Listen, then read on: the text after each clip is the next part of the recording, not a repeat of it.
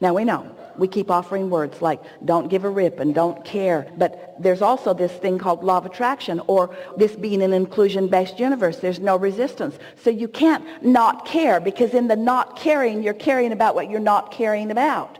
So when we say just don't care, just don't give a rip, we're not giving you anything that you can use. We're just telling you, in answer to your question, why it isn't working. But what does work is turning your attention to what does feel good. What does work is turning your attention toward the things that you can find pieces of. And that's what you were not willing to do with us.